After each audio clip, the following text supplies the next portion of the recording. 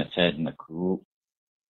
ဧပြီလ17ရက်ပေါ့နော်12ရက်နေ့။အော်ဒီနေ့ဧပြီလ12ရက်ပဲဟုတ်ပြီဒီနေ့ဧပြီလ12ရက်2နာရီချိန်ပါပေါ့နော်။အဲတို့တို့အကြံအတွက်တရားနာယူကြဖို့လာကြတဲ့သူတွေအတွက်ဝလက်သိမ့်မစုံနေတာဆိုတော့အကြံတရားတော့မဟောသေးဘူးလို့ပြောအောင်နော်။အကြံတရားတော့မဟောသေးဘူးဆိုတော့ဒါကတော့အကျိုးတရားပေါ့ဗျာ နော်။အကြံဟောဖို့ရည်ရွယ်ထားတဲ့တရားမဟောသေးတာကိုပြောတော့ပါနော်။အကြံတရားမဟောသေးဘူးဆိုတာအဲအကြံအတွက်ဟောမယ့်တရားဟောခင်အခုလိုမျိုးလို့အချိန်မှာတော့နည်းနည်းလူလက်ရှိနေတာဖြစ်တဲ့အတွက်အကျိုးတရားလေးဖြစ်နေဟောနော်အကျိုးတရားဖြစ်နေရတော့ဘာပြောရမလဲလို့ဆိုတဲ့အခါကျတော့ဘာပြီးပေးရမလဲဆိုတဲ့အခါကျတော့တို့တို့ပြီးခဲ့တဲ့သတင်းကြွလာတော့အပြီးပေးပြီးသားဖြစ်တဲ့အဲ ကျုပ်တို့ကိုဒီလိုလေးအတိပတ်ပြီးပေးကြပါလို့ပြောတာပေါ့နော်အဲဘယ်လိုလေးအတိပတ်ပြီးပေးစီချင်တာတုံးလို့ဆိုတဲ့အခါကျတော့ကျုပ်တို့ဟာအဲဒီလိုမျိုးလို့ဝတ်ဆင်ပြီးထေရဝါဒကနေပြီးတော့ဒီလိုလေးဝတ်ဆင်ပြီးနေလိုက်တဲ့အခါကျတော့ကျုပ်တို့ဘာလို့မသိပဲနေမှာဆိုရင်လည်းအတွက်ဒါပြစ္ဆုတ်ပံကမ္မဝါဒ ဗုဒ္ဓဘာသာလို့ဒီလိုမျိုးလို့ပြောခဲ့ပါတယ်ဗျအဲပြစ္ဆုတ်ပံကမ္မဝါဒဗုဒ္ဓဘာသာလို့ဆိုတာမျိုးအဲပြောခဲ့တာဘာဖြစ်လို့ပြောတာလဲလို့ဆိုတဲ့အခါကျတော့ဗုဒ္ဓဘာသာတွေကအမျိုးမျိုးရှိတာဟုတ်ရမဟာယာနဗုဒ္ဓဘာသာတို့ထေရဝါဒဗုဒ္ဓဘာသာတို့ရှိဖြစ်အဲ့ထဲထဲမှာအဲကျတို့ကထေရဝါဒဗုဒ္ဓဘာသာကနေနှုတ်ထွက်လိုက်တာဟုတ်အဲနှုတ်ထွက်လိုက်တဲ့အခါကျတော့ထေရဝါဒဗုဒ္ဓဘာသာတော့သူက မလုပ်တော့ဘူးကွာပေါ့ထေရဝါဒဗုဒ္ဓဘာသာလို့မလုပ်တော့ဘူးဆိုတာအပြင်တရားအပြင်မလုပ်တော့တာတင်ပြောတာမဟုတ်ဘူးသဘောတရားအပြင်လည်းထေရဝါဒဗုဒ္ဓဘာသာကိုမလုပ်တော့တာဖြစ်ပါတယ်အဲထေရဝါဒဗုဒ္ဓဘာသာလို့မလုပ်တော့တာကလည်းပဲထေရဝါဒဗုဒ္ဓဘာသာလို့မလုပ်ခင်တည်းကသူတို့ရဲ့အတွင်တရားကတော့မလုပ်ခင်ကသူတို့ရဲ့အတွင်တရားကတော့အဲထေရဝါဒဗုဒ္ဓဘာသာနဲ့ထပ်တူဖြစ်နေတယ်ဗျ အဲ့လိုဖြစ်နေတဲ့အချိန်မှာသူတို့ကလည်းထေရဝါဒဗုဒ္ဓဘာသာဖြစ်တဲ့ထပ်တူဖြစ်တဲ့ကျွတ်တို့လိုခွန်ကြီးတွေကိုဟောတရားမဟုတ်တဲ့တရားအမှားတွေကိုတော့ဖြစ်ပြောဆိုနေတာကိုအဲတရားအမှန်တွေကိုပြောဆိုလာဖို့ရပြောဖို့ရတာတော့ဘောလဲထေရဝါဒဗုဒ္ဓဘာသာနဲ့နေနေရတာဆိုတော့အဲ့ဒီလူတွေကိုအဲ့ဒါပြောပါဖြစ်မှာပဲဆိုပြီးတော့ဘင်္ဂမဟာနာယကဆိုတော့2000အဲ 1980 ခုနှစ်မှာ ပေါ်လာတော့ အဲ့ဒီကိုကျွတ်တော့နေပြီးတော့ ပြောပြတာပေါ့ ပြောပြတော့ ပြောပြရုံနဲ့မကပဲပြောပြတာလဲသူတို့ နားမထောင်နိုင်တဲ့အခါကျတော့ ဓမ္မအာဓမ္မနဲ့ကျွတ်တော့နေပြီးတော့ တရားဆွဲလိုက်ပါတယ်ဗျအဲထေရဝါဒ ဗုဒ္ဓဘာသာကို ဓမ္မအာဓမ္မအဖြစ်နဲ့ ဘယ်လိုတရားဆွဲလို့ဆိုတဲ့ကြတော့ အဲထေရဝါဒဗုဒ္ဓဘာသာထဲမှာဘုန်းကြီးတွေတရားဟောနေကြတာဟာရှိဘွားတွေနောက်ဘွားတွေပါနေတယ်ရှိဘွားတွေနောက်ဘွားတွေဆိုတာဟာမြတ်စွာဘုရားကလုံးလုံးတူမပြောတဲ့စကားပြီးတော့နောက်တစ်ချက်ကလည်းဘုရားကလုံးလုံးကိုမပြောခဲ့တဲ့အရာတော့ပါလဲလို့ဆိုချင်ကိုကိုကိုကိုမဟုတ်ဘူးငါမဟုတ်ဘူးပေါ့နော်ဟိုကလွဲတဲ့သူများတွေလည်းပဲသူများမဟုတ်ဘူးသူမဟုတ်ဘူးပေါ့အဲငါမဟုတ်ဘူးသူမဟုတ်ဘူး အဲ့ဒီငါတွေသူတွေကပုဂ္ဂိုလ်တွေတ attva တွေဖြစ်နေတယ်ပုဂ္ဂိုလ်လည်းမဟုတ်ဘူး attva လည်းမဟုတ်ဘူးအဲယောက်ျားတွေမိန်းမတွေဖြစ်နေတယ်ဆိုလည်းအဲ့သူရဲ့ယောက်ျားလည်းမဟုတ်ဘူးမိန်းမလည်းမဟုတ်ဘူးဒီလိုမှတ်ယူရမယ်ဒီလိုသိမြင်ရမယ်လို့ဆိုတာမျိုးကိုထေရဝါဒဗုဒ္ဓဘာသာတွေကဟောပြောနေပါတယ်အဲ့ဒါဟောပြောတာကဘယ်မှာတုံးလို့ဆိုတဲ့ကြဣဒ္ဓာတွေမှာဟောပြောတယ်အမဟုတ်ဘူးသူမဟုတ်ဘူးဘုံမဟုတ်ဘူးတ attva မဟုတ်ဘူးယောက်ျားမဟုတ်ဘူးမိန်းမမဟုတ်ဘူး လို့ဟောပြောတာကဣဒ္ဓာတွေကဟောပြောတယ်အပရိယတိစာတင်တိုက်ပြီလို့ဆိုတဲ့သူတွေကတော့ဘာတွေပြောသလဲတော့အဲရှိဘွားကလာတာနောက်ဘွားကိုသွားမှာအဲ့ဒီလိုမျိုးပေါ့နော်အဲ့လိုဆိုတော့နောက်ဘဝသွားတဲ့အခါမှာ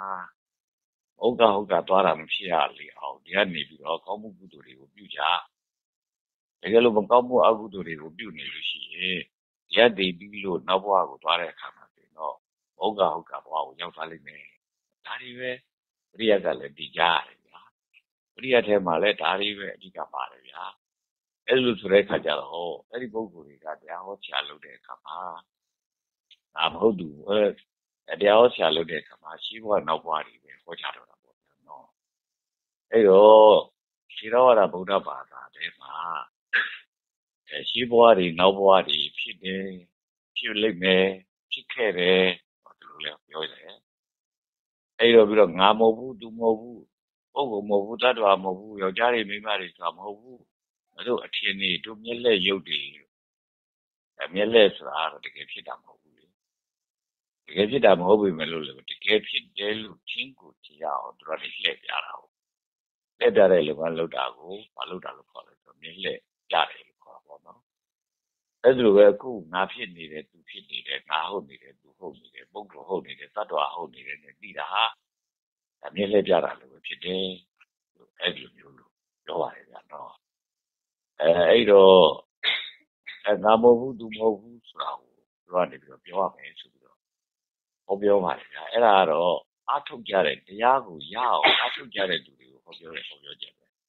ဘုရားတော့တရားကိုသိမြင်အောင်ဆိုတဲ့သဘောမျိုးနဲ့ဟောပြောတာပါရှိသွားတယ်တော့ပါတယ်ဆိုတာကတော့ အဲ့တော့အဲ့ဒီတစ်ခုလုံးကိုဟောပြောနေပြီဆိုတော့ဒါတော့ဖြင့်တကယ်ကိုဗုဒ္ဓဘာသာနဲ့လွဲချော်တဲ့ဘာသာပဲဘယ်လိုလွဲချော်တဲ့တုံးလို့ဆိုတဲ့ခါကျအဲရှင်းဘဝတွေနောက်ဘဝတွေဖြစ်တယ်လို့ပဲယူယူမဖြစ်ဘူးလို့ပဲယူယူတချို့တော့ဖြစ်တယ်တချို့တော့မဖြစ်ဘူးလို့ပဲယူယူအဲဖြစ်တာလည်းရှိတယ်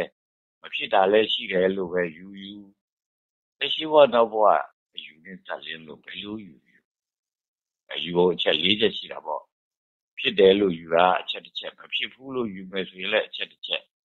တချို့တော့ဖြစ်ပြီးတချို့တော့မဖြစ်ဘူးလို့ယူမယ်ဆိုရင်လည်းအချက်တစ်ချက်အဖြစ်တာလည်းမဟုတ်ဘူးမဖြစ်တာလည်းမဟုတ်ဘူးလို့ယူမယ်ဆိုရင်လည်းအချက်တစ်ချက်ပေါ့အဲဒီလေးမျိုးပဲယူနိုင်တာပါဒီလေးမျိုးတွေကဘယ်မျိုးပဲယူယူအဲ့ဒီယူတဲ့ပုံကိုယ်ဟာမိစ္ဆာဒိဋ္ဌိတွေ။ညာဒီလိုပြောပါလေဗျာ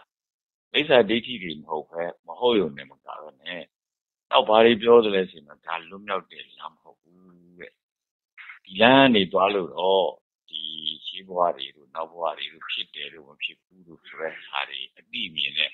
သွားလို့ရတော့ နိဗ္ဗာန်ကို ရောက်ကုန်မရောက်ဘူး အဲအဲ့ဒီလိုလည်း မြတ်စွာဘုရားပြောပါလေဗျာအဲ့ဒီလို ပြောပါရဲ့နဲ့ အဲအဲ့ဒီ ပုဂ္ဂိုလ်တွေက ရှိဘဝတွေ နောက်ဘဝတွေ အကြောင်းကြီးပဲ တန်တန်ကြီး ပြောနေတာ ဆိုတဲ့အခါကျတော့ ဒါ မိစ္ဆာဒိဋ္ဌိ ဖြစ်အောင်ဟောနေတာပဲအဲကြောင့်မို့လို့ရှိဘဝနောက်ဘဝအယူကိုဟောဒီဗုဒ္ဓဘာသာတွေကနေဖယ်ရှားပေးပါလို့ပြောတောင်းဆိုခဲ့တယ်ဗျာအဲတောင်းဆိုတာလည်းတကယ်မကပါဘူးစာအုပ်ရေးပြီးတော့များတော့တောင်းဆိုပါတယ်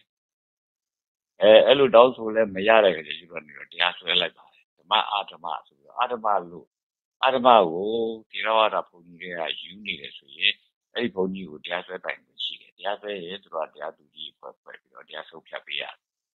အဲတရားပဲဆွဲလိုက်တော့ပဲဆိုတော့တရားဆွဲလိုက်ပါတယ်အဲနောက်တစ်ချက်ကလည်းပဲအဲ့ဒါလိုငါမဟုတ်ဘူးသူမဟုတ်ဘူးဘုက္ခုမဟုတ်ဘူးတ attva မဟုတ်ဘူးနဲ့လုပ်ပြန်တယ်ဗျာအဲငါမဟုတ်ဘူးသူမဟုတ်ဘူးဘုက္ခုမဟုတ်ဘူးတ attva မဟုတ်ဘူးနဲ့လုပ်လို့ရှိရဲ့အဲ့ဒါဘာပြောတာလဲသူတို့ကဘာပြောတာလဲလို့ဆိုရှိရဲ့သူတို့ကဒီလူကြီးကိုမသိနေဘူးဗျာအဲဒီလူကြီးကိုမသိနေဘူးလို့ဆိုတဲ့ခါကျဒီလူကြီးကိုငါမဟုတ်ဘူးသူမဟုတ်ဘူးနဲ့အဲ့လိုပြောနေတယ်ဗျာ အဲ့လိုပြောတဲ့အတွက်ငါတို့သူတို့ပုဂ္ဂိုလ်တို့တ attva တို့ယောက်ျားတို့မိန်းမတို့မဟုတ်ဘူးလို့ဆိုလို့ရှိရင်ဒီသူ့အတွက်အတိတ်လည်းမရှိဘူးဒီသူ့အတွက်အခုဖြစ်နေဆဲဆဲပြစ္ဆုတ်ပါလည်းမရှိဘူးဒီသူရဲ့အနာဂတ်ဖြစ်လက်တဖြစ်ဖြစ်လိမ့်နိုးနိုးအရာလည်းမရှိဘူးဘာမှမရှိဘူးဆိုတဲ့အထိပဲပေါ့နော်အဲ့ဒါလို့ဆိုတော့အကြောင်းလည်းမရှိဘူးအလုပ်လည်းမရှိဘူးအဖြစ်လည်းမရှိဘူးလို့ဆိုတာ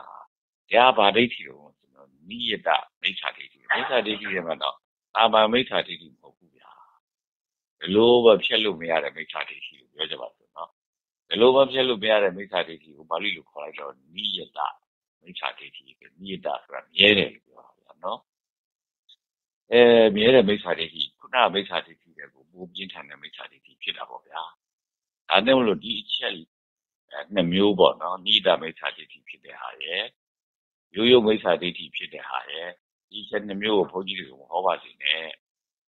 ဒီချက်ဟခေါ်တဲ့သူဆိုလို့ရှိရင်တော့ဖြင့်အတ္တမဖြစ်တယ်လို့အဆုံးဖြတ်ပြီးပါဟောအဲ့လိုမျိုးလို့ကျတို့ကနေပြီးတောင်းဆိုလိုက်တယ်ဒါကိုသူတို့ကလုပ်ပေးဖို့ရတော့အခက်အခဲကတော့ရှိတာပေါ့ဘာသာဘာသာရေးကအဖွဲ့ဆိုတာဟာလေရိုးရိုးတန်ခါနေပြီးတော့တန်ခါတွေနဲ့ပဲဖွဲ့စည်းထားတဲ့အဖွဲ့ပဲဆိုတော့သူတို့ကိုယ်တိုင်ကလည်းပဲငါမဟုတ်ဘူးသူမဟုတ်ဘူးဆိုတာတွေကိုခံယူထားမှာပဲ သူတို့ကိုယ်တိုင်ကလည်းနောက်ဘဝလာရာရှိဘဝကိုသွားမှာအစရှိတယ်အဲရှိဘဝနောက်ဘဝတွေလည်းသူတို့ခံယူထားတဲ့သူဆိုတဲ့အခါကျတော့သူတို့ကိုယ်တိုင်တော့မှအဲ့ဒီမိစ္ဆာဒိဋ္ဌိနဲ့နိဒာမိစ္ဆာဒိဋ္ဌိတွေဖြစ်နေတာဆိုတော့ကဲ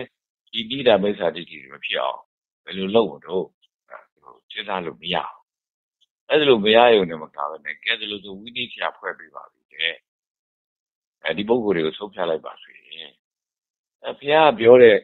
ပြောတာအတိုင်းပြောတဲ့သူကိုဆိုရင်အမှန်ပေးရပါလေအဲ့လိုဆိုကျုပ်တို့ကိုပဲအနိုင်ပေးရပါရဆွဲလိုက်တာသူတို့ဆုံးဖြတ်ရအဲ့တော့သူတို့ကတရားရုံးကိုဖွဲ့မပေးဘူးဗျဝိနည်းဆရာတရားရုံးကိုဖွဲ့မပေးဘူးဗျဝိနည်းဆရာတရားရုံးကိုဖွဲ့မပေးတာလဲကျုပ်တို့ကလည်းညံ့တယ်လို့ပြောမှာပဲဘယ်လိုညံ့တာတော့ဆိုတဲ့အခါကျတော့ဘယ်ပြီးနိုင်လောက်ပါမလဲလို့ကျုပ်တို့တွေးဖို့တော့ကောင်းတာပေါ့ကျုပ်တို့ကလည်းဘယ်တွေးဘယ်အဲ ဒီဟာကိုတို့သုံးဖြတ်ပေးနိုင်လောက်ပါတယ်လို့ဆိုတာမျိုး ဘယ်တွေးနိုင်လောက်ပါမလဲ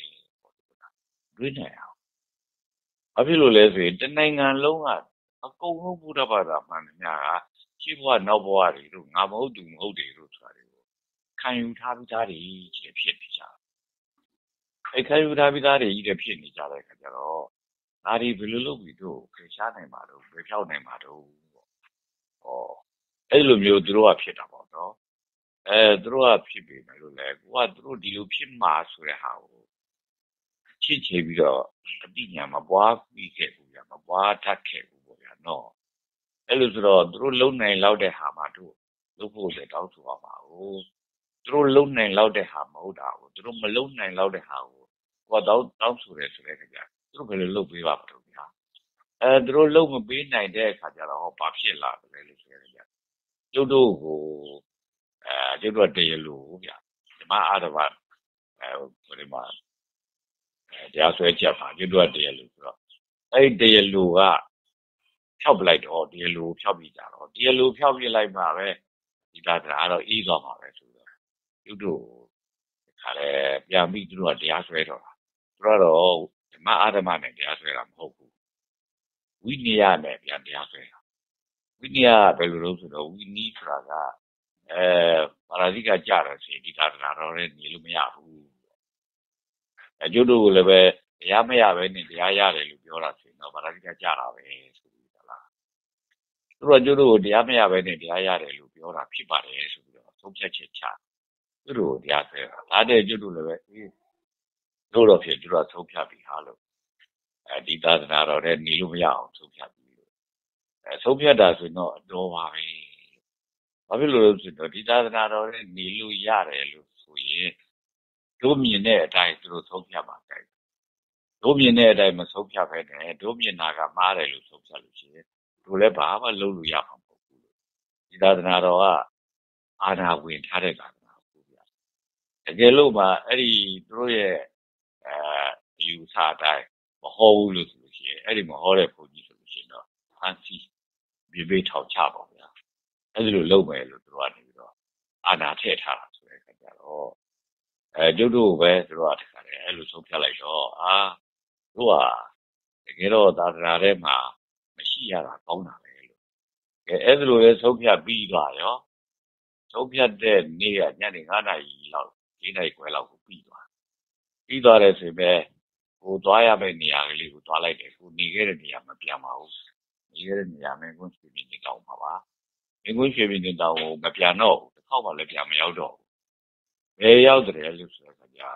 ရန်ကြီးတောင်ချီနာကဘုံငကုန်းဆိုတဲ့ရွာမှာကျတို့တစားတယောက်ရှိတယ်ခြံကျဲကြီးလည်းရှိတယ်အဲအဲ့ဒီခြံသွားပြီးတကလားတို့ပြည့်ဒါဒီရဝါဒဗုဒ္ဓဘာသာကိုသုံးလို့ကြောင်းကိုကြီးညာတော့မယ်ဆိုပြီးကလားအဲ့ဒီကိုသွားပြီးတော့ပဲဒီဝုတ်ကိုလဲလိုက်တယ်ဗျာအဲ ဒီဝတ်လဲတာတော့ပထမတော့အများမဖြစ်ပါဘူးခါဟိုလည်းဖြစ်တယ်ပင်ဒီရောင်ပဲပေါ့နော်ပင်ဒီရောင်ဝတ်နေပဲပေါ့အဲနောက်တနေ့လောက်ရောက်တဲ့အခါကျမှသူ့ဘာရောင်ဝတ်ရမလဲလို့ဆိုတဲ့အခါကျတော့ကဲတို့ပင်ဒီရောင်ဆိုရင်တော့မှဒီရဝါဒအယောင်နဲ့နည်းနည်းတူးနေသေးတယ်ဟာပေါ့ဒီရဝါဒအယောင်နဲ့ဘိုးနည်းနည်းမှမတူအောင်ကတော့အဲဒီရဝါဒအယောင်ကအနီရောင်အဝါရောင်အစရှိဖြစ်အဲ့ဒီအပိုင်းဆိုင်ရာ နီရောင်အဝါရောင်ရဲ့ဆန့်ကျင်ဘက်အပိုင်းအယောင်ကအပိုင်းနှစ်ပိုင်းရှိအောင်အောက်အယောင်ထက်ရောင်အဲအဲ့လိုပဲအနီရောင်အဝါရောင်တို့ဆိုတာတွေအောက်ရောင်ဆေးရောင်တို့အပြာရောင်တို့ဆိုတာတွေကတော့အထက်ရောင်တွေဆိုတော့အဲတို့အပြာရောင်လိုက်တော့မယ်အပြာရောင်ကတော့မူးပြာပဲလို့မူးပြာဆိုတာအီးလေးအီးချမ်းပါလေသူတို့နဲ့တော့မတူကိုမတူတော့ကြိုက်ပါဆိုတော့ဟောမတူအောင်ဆိုပြီးတော့မူးပြာရောင်ကိုယူလိုက်တာဖြစ်ပါတ ယ်မူးပြာရောင်ယူလိုက်ပြီးတော့ဘယ်လိုပို့မလဲလို့ဆိုတဲ့အခါကျငကွာလို့စောင်းကြီးလို့ချုပ်ပြီးတော့အဲ့လိုပဲတခါတည်းပတ်ထားတာတို့ပြုံထားတာတို့ဆိုတာတွေကိုမလုပ်တော့ပဲနဲ့အခုလို EG နဲ့ဘောက်ပြီးနေချုပ်ပြီးတော့ဒါဝတ်လိုက်တော့တာဖြစ်တယ်အဲ့ဒါလုတ်ပြီးတဲ့ခါကျကြီးညာလိုက်တယ်တို့ဘယုတ်ကြီးညာလို့ဆိုတော့ဒီလိုတို့ထေရဝါဒဗုဒ္ဓဘာသာကထွက်ပြီးသွားပြီအဲ့တော့ဒီလိုတို့ထေရဝါဒဗုဒ္ဓဘာသာထွက်ပြီးသွားလို့ဗုဒ္ဓဘာသာမဟုတ်ဘူးလားဆိုတော့ဒီလိုတော့ဗုဒ္ဓဘာသာမဟုတ်အောင်မလုပ်နိုင်ဘူးဗု ဒ္ဓဘာသာပဲဖြစ်တယ်အဲ့ဒီလိုယုံကြည်တဲ့ဗုဒ္ဓဘာသာကသစ္စုပ္ပန်ကာမဝါဒဗုဒ္ဓဘာသာဆိုတဲ့နာမည်နဲ့ပြီးတော့ဗုဒ္ဓဘာသာလုံနေတော့မယ်လို့သူတို့ကြီးညာလိုက်ပါတယ်။ဒါကျွတ်တို့ရဲ့ကြက်ကြတဲ့လုပ်ငန်းလို့ပြောရမှာပဲ။ဘာဖြစ်လို့လဲလို့ဆိုလို့ရှိရင်တော့ထေရဝါဒဗုဒ္ဓဘာသာကနေပြီးတော့ထွက်ပြီးနောက်ကျွတ်တို့ကနေထေရဝါဒတရားတွေပဲပြဟောနေတယ်ဆိုရင်လည်း ထေရဝါဒဗုဒ္ဓဘာသာထွက်တယ်ဆိုတော့တရားဝင်အောင်ပြောဖို့လိုတာ။မပြောဘဲနဲ့ထွက်ရင်ကတော့ရန်ကုန်မှာဘုန်းကြီးလေးတစ်ပါးရှင်ဝါသွားဆိုတဲ့ဘုန်းကြီးရဲ့တပည့်ပေါ့နော်သူ့နာမည်လေးတော့မေ့ပါပြီအဲအဲ့ဒီဘုန်းကြီးကလေးကသူ့လည်းတရားဆုံးဖြတ်ခံရတော့မှာတရားဆုံးဖြတ်ခံရတော့မှာလို့ဆိုတဲ့အခါကျသူ့တပည့်တွေကနေပြောတာအဲဒီရဝါဒတတ်လို့မသေးတဲ့ဘုန်းကြီးတွေကိုတော့သွား အဲ့ဒါပါကိုတော့နီလာရမှာလို့ပြောတယ်အဲ့နဲ့အဲ့ဒီဘုန်းကြီးကနေပြီးတော့ကျွတ်တို့ကိုလာပြီးဆက်သွယ်လိုက်တာပေါ့နော်သူ့လည်းအစီရင်ခံရတော့မှာအဲ့တော့ဒီရဝါဒဗုဒ္ဓဘာသာတတ်လို့မသေးတာဆိုလို့ဖြည်းဖြည်းချင်းတော့ဘုန်းကြီးပဲရှိတယ်လို့ပြောတယ်ပေါ့အဲကြောင့်မလို့အဲဒါရှင်ဘုရားကိုတူတော့ချိကပ်ပါတယ်ဒီလိုတော့ထေရဝါဒကိုဘယ်လိုပြောရမလဲအဲပြောပါဩအဲ့ဒါဆိုရင်ကတော့ထေရဝါဒကသူတို့မောင်ရင်ကိုတရားစီရင်ဆိုတော့ဓမ္မအာရမနဲ့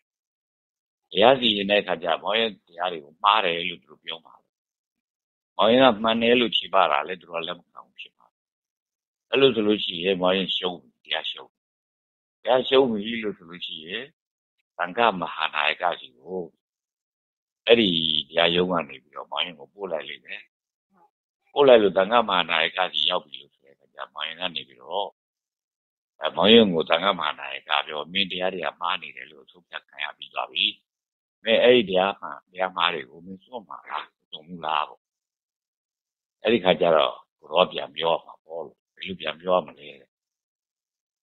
အဲဒီလိုတော့ဒီတရားတွေကမှန်တယ်လို့ခံယူထားတာ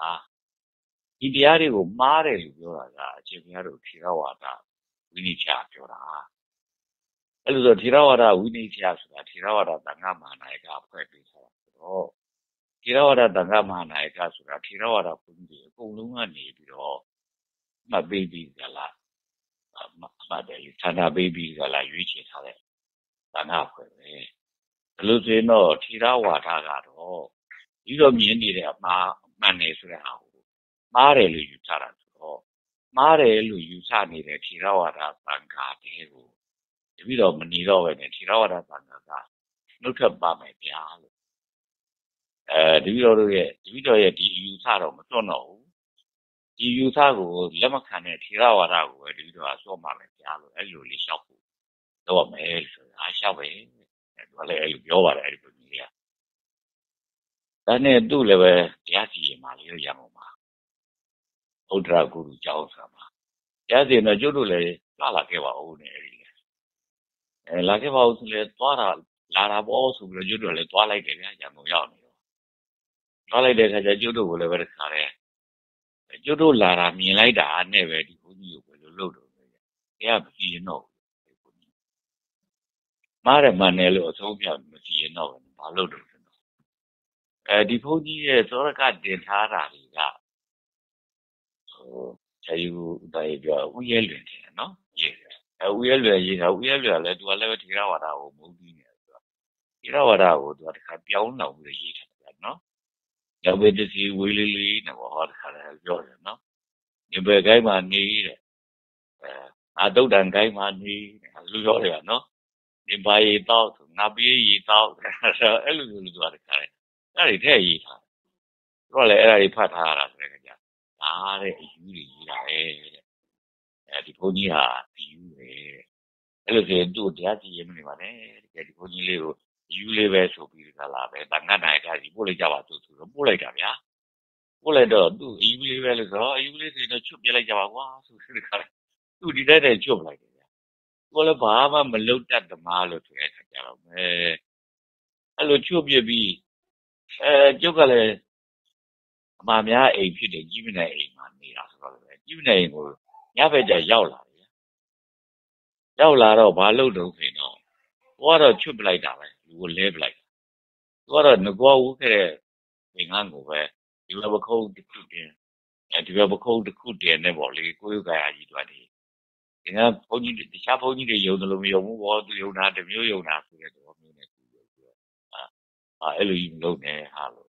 အဲ့ရမဲ့အရာယူကြီးလို့လို့ပဲလို့ပြောကြအယူလို့မင်းတတ်မှတ်ထားဆိုပို့ပြီးတော့ယူဖြစ်သွားလိမ့်မယ်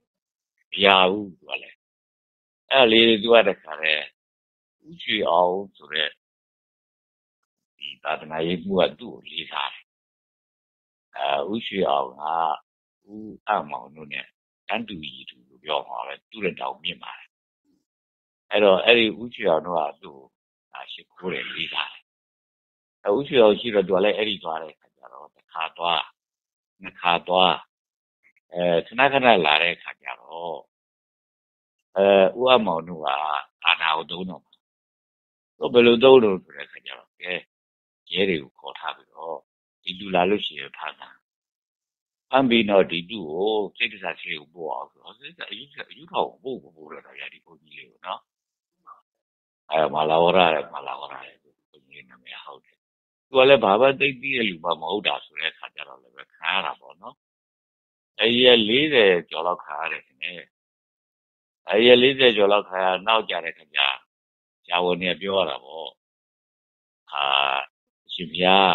အခုလိုမနေနဲ့အခုလိုနေရင်တော့ရှင်ဗျာအခုလိုနေတာကိုကိုယ်တိုင်ကဒါအယူတစ်ပိုင်းဖြစ်နေတယ်အဲဒါကျုပ်ကျုပ်ကဘယ်လိုနေရမှာတော့ဗျာအမှန်လူလိုပဲနေပေါ့လူလိုပဲနေပြီးတာပါပဲဆိုအဲတကယ်ဗျာလူလိုပဲနေမယ်လို့ဆိုတော့အဲ့ကြပါပြန်လွတ်လိုက်တာဗျာသူအဲလိုဖြစ်တယ်ဗျာဆိုလိုတာကတော့ဒီနည်းနည်းလေးမှလောကကိုနားမလည်လို့ပဲလို့ဆိုပြောကြပါစို့လောကနားလည်တယ်ဆိုတော့ ဒီအဖွဲ့အစည်းတွေကနေထွက်ပြီးဆိုရင်ဒီအဖွဲ့အစည်းပြင်နောက်ထပ်အဖွဲ့အစည်းတစ်ခုသတ်တက်ကလေးရှိရပါဗျာသူကအဲ့လိုလည်းမဟုတ်ဘူးကျုပ်တို့ကတော့သိသိလာလို့ရတော့မဟုတ်ပါဘူးကျုပ်တို့လည်းအဲ့တော့ကတော့ထူထူတို့အတ္တကနာတတာပါပဲအဲသိသိလာလို့မဟုတ်ပြီမလို့လည်းပဲဒီတော့အတာမဟုတ်ရင်တော့သူဗုဒ္ဓဘာသာအဖြစ်ကနေပြီးတော့ဗုဒ္ဓဘာသာမဟုတ်တော့ဘူးလို့သူများတွေကပြောနေလိမ့်မယ်တကယ်တော့တို့ကဗုဒ္ဓဘာသာပဲလို့ဆိုဘာဗုဒ္ဓဘာသာလို့လို့ဆိုတော့ဣသုပံကံကိုသူကလက်ခံတဲ့ဗုဒ္ဓဘာသာဖြစ်တယ်ပဲ ဣသုပံကမ္မဝါဒဗုဒ္ဓဘာသာလို့သူပြောလိုက်မယ်ဆိုရင်လို့ပြောလိုက်တာပါပဲဒီလိုအဲ့လိုပြောလိုက်တာဖြစ်တယ်အဲ့လိုဆိုတော့ကျွတ်တို့ဘယ်လိုပဲဒီလိုလုံးလို့မရအောင်တနည်းလောက်ပဲဗျာကျွတ်တို့လွတ်ထားဘယ်လိုပဲလုံးလို့မရအောင်နောက်တနည်းလောက်ရောက်တဲ့အခါကျတော့မှဘုန်းကြီးတုဆိုတဲ့အဲစီကတခုဟိုရအဲပြညတ်လိုက်တယ်အဲ့ဒီခါကျဘုန်းကြီးတုဆိုတာကျွတ်တို့ဖမ်းလိုက်တာဗျာအဲဖမ်းလိုက်တဲ့ခါကျအဲ့ဘုန်းကြီးတုအဖေကနေပြီးတော့ထောက်ကြတယ် အဲမင်းတို့ဘုန်းကြီးတုလို့တို့ပြောအောင်မင်းတို့ဘုန်းကြီးနဲ့မတို့နဲ့အတူလို့လားလို့ရာယုံမှာမေးတာပေါ့အဲတူတော့မတူဘူးပေါ့တယ်မတူရင်မင်းတို့ဘုန်းကြီးကအဲတို့ကအတူလောက်တာဟုတ်လို့လားအဲဟုတ်လို့လားဆိုတာလေသူတို့ရဲ့ရှိနေတယ်လေတော်တယ်ဗျဘလောက်တော်တယ်လဲလို့ဆိုတော့ဘုလေးတဲ့ဘုန်းကြီးတို့ဝတ်တဲ့အဝတ်ကဘာဝတ်ထားထားတယ်တကယ်တော့ဘုန်းကြီးလုံနေတယ်ဆိုရင်ဘုန်းကြီးအတူပဲတဲ့သူကဒီလိုပြောတယ် တကယ်တော့ဥပဒေထဲမှာကတော့ဘုန်းကြီးဆိုတာဆိုတော့ညက်ွက်ထားတယ်သင်္ကန်းဝတ်ရမယ်ယဟန်ခံရမယ်ဟောဒီလိုပြောထားတာပေါ့နော်အဲ့လိုဆိုတော့ကိုယ်ကသင်္ကန်းဝတ်ထားတာမှမဟုတ်တာဆိုတဲ့အခါကျတော့အဲ့အတူမဟုတ်ပါဘူးအဲအဲ့လိုမျိုးလို့ခြေပတဲ့ခါကျသူကဘာပြောလဲဆိုတော့ပုံမှန်တန်ဒီကြက်ထဲဟာလေးလားမသိပါဘူးမျိုးသမီးတယောက်ကတော့ဟိုးဘွားလေးဘွားလေးရတယ် သူကလှကျင်ပကျင်လို့မလို့အဝတ်လှလှလေးဝတ်ချင်လို့သူများရင်သွားကြုံတာသုံးနှစ်သုံးနှစ်ကြုံခံပြီးသွားလို့မလို့ဒီအဝတ်ကောင်းလေးရပြီဟိုဗမ်းပစိုးလေးရပြီပေါ့နော်ကဲဒီအဝတ်ကောင်းလေးကိုတော့ဖြစ်အာရီမိုးချိုးပြီးမှပဲဝတ်တော့မယ်ကျွန်းခန်းနေတော့မှလည်းတော့ဝတ်တော့ဆိုဒီရီမိုးချိုးဒီဝတ်ဝတ်ဖို့အတွက်အဲ့ဒီလိုရီမိုးချိုးပြီးနေတော့မှပဲအာ ပြည့်စကဗုဒ္ဓကြီးတပါအမေကုန်းကနေပြီးရှော့ချေချောဆိုသူနဲ့ရောက်လာဟာဒါတော့တကယ်ကိုသူတော်ကောင်းကြီးပဲပေါ့သူကလည်းပဲမြက်တွေဝတ်ထားဆိုဒီမှာဝင်ရှိဘူးပေါ့နော်မြက်တွေဝတ်ထားဆိုတော့သူသုံးနှစ်သုံးမိုးကျွန်းခံပြီးမှရလာတဲ့အဝတ်ကိုအာငါဝတ်နေလို့ဘာလို့မှာတော့ဒီပုံကိုကြီးကိုငါလှူလိုက်တာကောင်းပါလေဆိုပြီးတော့လှူလိုက်တာပဲလာတယ် လှူလိုက်တော့အဲ့ဒီပိစကဗုဒ္ဓကြီးကအဲ့ဒီအဝတ်ကိုဝတ်သွားတာပဲ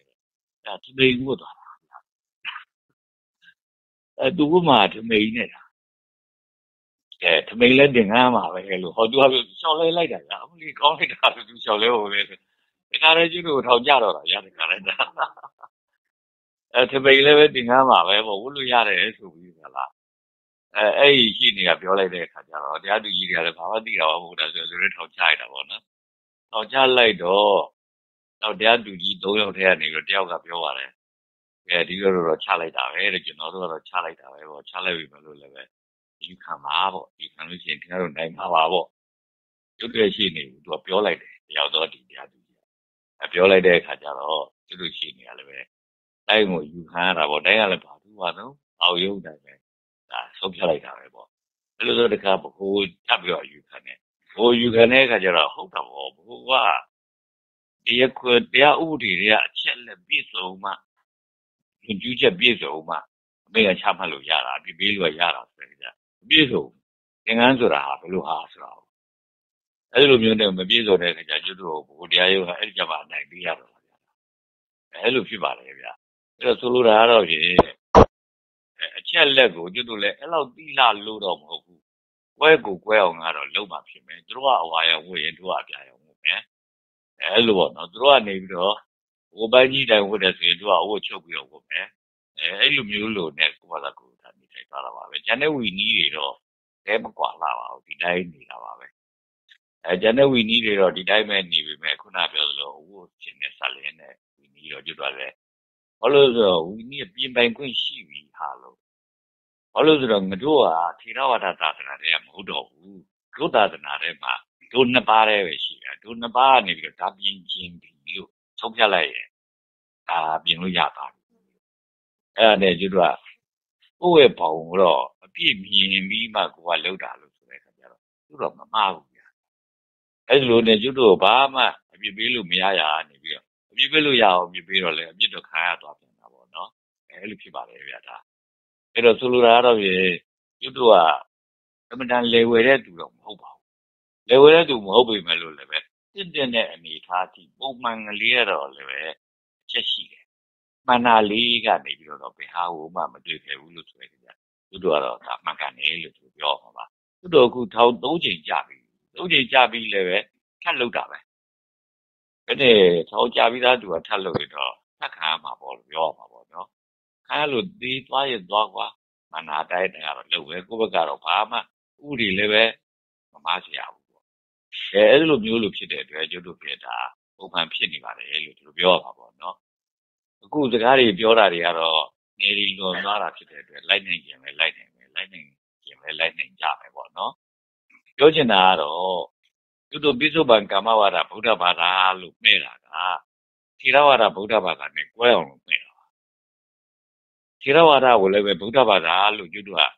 ရှင်းထားထုံးမယ်ရှိသေးတယ်ကျွတ်တို့အတိတရားသိပြီမဲ့လို့လည်းဘုဒ္ဓတရားနဲတာလို့ဆိုတဲ့အခါကျဘယ်ချက်ပဲချက်ဘယ်လက်ဒီနဲ့အဲဖြစ်ရမယ်လို့ဆိုတာမျိုးပြတော့မကြည့်ဘူးဗျအဲပြီးခဲ့တဲ့သတင်းကျွလာကမှတိတိကျကျပေါ်လာတယ်ဗျတိတိကျကျပေါ်လာတော့ကျွတ်တို့လူလေးက10ယောက်15ယောက်လောက်ကိုအဲကျုပ်ကိုအတိမတ်ပြုပါလို့ဆိုတာမျိုးလေးပြောတာဘယ်လိုအတိမတ်ပြုရမှာလို့ဆိုတော့ ကျုပ်ကိုပိစုပန်ကမ္မဝါဒ ဗုဒ္ဓဘာသာလို့ ခင်ဗျားတို့ သိနေတဲ့အတိုင်းအတိမတ်ပြုတာ မလုပ်ကြနဲ့တော့ဗျာ ကျုပ်ကို ဗုဒ္ဓဘာသာ ဘုန်းကြီးလိုပဲဒါအတိမတ်ပြုတော့ဆိုပြောတယ်။ဘာဖြစ်လို့ ကျုပ်ကို ဗုဒ္ဓဘာသာ ဘုန်းကြီးလို့ပိစုပန်ကမ္မဝါဒ ဗုဒ္ဓဘာသာပိစုပန်ကမ္မဝါဒဆိုတော့ဘာလို့ ဖြုတ်ပြတာတော့ဗုဒ္ဓဘာသာ ဘုန်းကြီးလိုပဲ ဘာဖြစ်လို့ လုပ်တာတော့။အော်သီရဝါဒဘုန်းကြီးဗုဒ္ဓဘာသာတွေကသီရဝါဒပဲ ဖြစ်တယ် ဗုဒ္ဓဘာသာ မဖြစ်ဘူးလို့ဟော ကျုပ်ကပြတ်ပြတ်သားသားပြောနိုင်တာဗုဒ္ဓဘာသာဆိုတာဘာလို့ဗုဒ္ဓဘာသာဆိုတာဗုဒ္ဓရဲ့အလင်းပဲဘာသာဆိုတဲ့စကားကအလင်းဆိုတဲ့အဒီကိုရောက်ပါတယ်ဗုဒ္ဓဘာသာဆိုတာဗုဒ္ဓရဲ့အလင်းပဲအဲ့ဗုဒ္ဓရဲ့အလင်းကိုကိုကကိုကိုဖြစ်အောင်ဆောင်လိုက်ရင်ကိုကိုရနေပြီးတော့လင်းထွက်သွားမယ်လင်းထွက်သွားမယ်ဆိုတာမှန်တာတွေမြင်မယ်ဟောတာတွေမြင်မယ်တရားတွေမြင်မယ်မှန်တာတွေပဲမြင်မယ်ဘာကြည့်ကြည့်ဘာကြားကြားဘာလုပ်လို့ မှန်တာတွေပဲကြားမယ်မှန်တာတွေပဲမြင်မယ်မှန်တာတွေပဲလုပ်မယ်ဩဒါတွေကအလင်းကိုအလင်းရှိရှိနဲ့လုပ်လို့ပေါ့နော်အဲဗုဒ္ဓရဲ့အလင်းမရဘူးလို့ဆိုလို့ရှိရင်တော့ဗုဒ္ဓရဲ့နောက်ကလိုက်နေတယ်ဆိုရင်လို့လေမှန်မှန်တာလည်းမမြင်ဘူးမှန်တာလည်းမကြားဘူးမှန်တာလည်းမလုပ်နိုင်ဘူးအဲမှားတာတွေပဲလုပ်နေမှာပဲမှားတာတွေပဲကြားနေမှာပဲမှားတာတွေပဲမြင်နေမှာပဲလို့ပြောဘာသာဆိုတဲ့စကားကအလင်းလို့ပြောတယ်အဲ့ ဒါ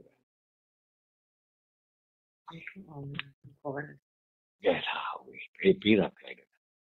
အဲ့လိုပဲပေါ့ဆိုလိုတာကတော့အလင်းဆိုတဲ့စကားကိုနည်းနည်းအတိပဲပေါ်အောင်လို့ပြောတာပါဟောသင်္ချာဘာသာလို့ရောက်နေကြကြဝေးတဲ့သူတွေဆိုရင်သူတို့ရဲ့စာအုပ်တွေမှာရေးထားပါတယ်သင်္ချာနဲ့ဆက်လင်းလို့မှတ်စုလုပ်တဲ့စာအုပ်ဆိုလို့ရှိရင်သင်္ချာဘာသာမှတ်စုသမိုင်းနဲ့ဆက်လင်းလို့မှတ်စုလုပ်တဲ့စာအုပ်ဆိုရင်သမိုင်းဘာသာမှတ်စု အဲမြန်မာစာနဲ့ဆက်လင်းလို့မှတ်စုလုပ်တဲ့ဆိုရင်မြန်မာဘာသာမှတ်စုဟောအဲ့ဒီလိုမျိုးလို့ဘာသာလို့ပြောပါတယ်ဘာသာဆိုတာအလင်းပြောတာမြန်မာဘာသာဆိုတာမြန်မာစာအလင်းတိချာဘာသာဆိုတာတိချာအလင်းသမိုင်းဘာသာဆိုတာသမိုင်းအလင်းဟုတ်တယ်သမိုင်းကိုတင်ထားလို့ရှိရင်သမိုင်းမျက်စိရှိလာတာသမိုင်းနားရှိလာတာသမိုင်းလိုပဲသမိုင်းနဲ့ရတယ်မှန်ကန်တာနဲ့သင်္ကန်းစာယူပြီးကြလားလှုပ်ချလဲလှုပ်တတ်တာပဲသမိုင်းပြီးပါသမိုင်းအလင်းရပါ တိချာတဲ့စာလင်းလို့လည်းပဲတိချာအလင်းမရဘူးလို့ဆိုလို့ရှိရင်တော့လွယ်လွယ်ကြော်ကြော်လေးလုံးမိပါပေါ့တိချာအလင်းရတာလို့ရှိရင်လှုပ်တဲ့ဟာသူ့အတွက်နဲ့သူ့ချက်နဲ့သူ့နဲ့ကိုက်ညီနေအောင်သူကနေလုပ်တာဒါတိချာအလင်းရတယ်အဲတိချာဆိုတာလည်းဒါကြောင့်ဘာသာဘာသာလို့ပြောရတာပဲသမိုင်းကိုလည်းဘာသာလို့ပြောရတာပဲပေါ့သိပ္ပံဆိုရင်လည်းဘာသာလို့ပြောရတာပဲပေါ့နော်သိပ္ပံအဲမတ်စုကိုမှတ်တဲ့စာအုပ်ဆိုလို့ရှိရင်သိပ္ပံဘာသာ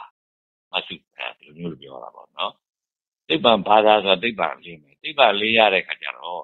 အဲသိပ္ပံဆရာတွေကနေပြီးပြောပြထားတဲ့သိထားတဲ့အသည့်တရားတွေကိုဝတ်တိသွားတဲ့ခါကျတော့သိပ္ပံကိုတွေးတတ်သွားတယ်ခေါ်တတ်သွားတယ်လုတ်တတ်သွားတယ်ဆောင်းတတ်သွားတယ်ဒါသိပ္ပံလင်းရတဲ့သူပေါ့နော်အဲ့တော့ဘာသာဆိုတဲ့စကားဟာအလင်းမယ်လို့ဆိုတဲ့အကြောင်းကိုဒါထုတ်ပြောနေတာဖြစ်ပါတယ်အဲ့ဗုဒ္ဓဘာသာလို့ဆိုတာကဗုဒ္ဓကအလင်းပေးခဲ့တဲ့စကားတွေရှိတယ်ဗုဒ္ဓအလင်းပေးခဲ့တဲ့စကားတွေကို ကျွတ်ကနေသူ့ဘာသာသူပေးခြင်းလောက်ပဲကျွတ်တို့ကိုယ်ထဲမှာကျွတ်တို့ဖြစ်အောင်မလုပ်နိုင်ရင်တော့အဲ့ဒီအလင်းကလည်းကျွတ်တို့မလင်းဘူးဗျာနော်တကယ်လို့ဗုဒ္ဓပေးခဲ့တဲ့အလင်းကိုကျွတ်တို့ကနေပြီးဒီကလာလှုပ်လိုက်လို့ကျွတ်တို့ကိုယ်ထဲရောက်သွားပြီကျွတ်တို့ဖြစ်သွားပြီဆိုတော့ကျွတ်တို့လည်းပဲဗုဒ္ဓမြင်တယ်လို့ပဲမြင်မယ်ဗုဒ္ဓတွေးတယ်လို့ပဲတွေးမယ်ဗုဒ္ဓလှုပ်တယ်လို့ပဲလှုပ်မယ်ဗျာဟောအဲ့ဒါဟာဗုဒ္ဓဘာသာပဲအဲ့တော့အဲ့လိုဗုဒ္ဓဘာသာဖြစ်ဖို့တည်းဆို ဗုဒ္ဓဘုရားဟောခဲ့တဲ့တရားဓမ္မတွေစကားတွေပေါ့နော်အဲ့ဒီစကားတွေကိုကျွတ်တို့နားလည်နေအောင်ကျွတ်တို့ကိုယ်တိုင်ကိုယ်ပဲကျွတ်တို့ကိုယ်ထဲမှာကျင့်လို့ရတဲ့အဆင့်ရောက်အောင်နားလည်နေအောင်ကျွတ်တို့ကနေပြီးလုပ်ဖို့လိုတယ်အခုထေရဝါဒတွေကသူတို့ကဗုဒ္ဓဘာသာရဲ့ကြားဟောထားခဲ့တယ်ဆိုတဲ့ဗုဒ္ဓတရားတွေဆိုတာတွေကသုတ်တံအဲ့သုတ်တံနေဆိုရင်အလကားတွေလို့ထင်တာခုနကတော့ဘုန်းကြီးတောင်မှပြောတယ်နော်မာလာဝရဆိုတဲ့ဘု န်းကြီးတောင်မှနော်အဲအဲညောင်ပင်တစီဝေးလေးလေးတဲ့ညင်ပယ်ခိုင်းမှနေငါသုတ်တံခိုင်းမှနေဟောသူဒီလိုပြောသူလည်းမတိလို့ပြောရှာတာတကယ်တည်းကတော့သူတို့သုတ်တံခိုင်းနေတာမဟုတ်ဘူးပြီးတော့ခိုင်းမှနေနေရှာတာအခုနောက်မာလာဝရတို့ကလည်းအပြီးဓမ္မာခိုင်းမှနေနေရတဲ့သူတွေကိုဗျအဲသူတို့အဲ့လိုဆိုတော့သုတ်တန်ခိုင်းမှနေတယ်ဦးရဲမြင့်ပေါ့ဒါပြောတာလေဦးရဲလွယ်ပေါ့ဟုတ်တယ်အဲအဲ့ဒီလိုမျိုးလို့ပြောတာသူတို့အော်သူလည်းမသိဘူးဟာလို့ ဆိုလိုတာကတော့သူတို့ကသုတ်တန်နေအကုန်လုံးကိုဘယ်လိုလို့ပေါ့ဗျာကိုယ်မသုံးဝဲထားတဲ့ပစ္စည်းတစ်ခုကိုဘီယူထဲထားတာကြောင်ရင်းနဲ့ထားတာဒီတိုင်းပဲပြစ်ထားတာပုံနေတက်သွားမှာပေါ့ပုံနေတက်ပြီးကြီးတက်ပြီးကြာတော့ခါဘာမှကိုမဟုတ်တယ်ပြည့်စည်သွားမှာပေါ့နော်သုတ်တန်တွေကိုလည်းအဲ့တိုင်းကြားဟောထားတဲ့သုတ်တန်တွေဆိုတာဘုရားဟောထားတဲ့သုတ်တွေပေါ့သုတ်တွေဆိုတာလည်းပဲသိပြီးကြပါဗျာ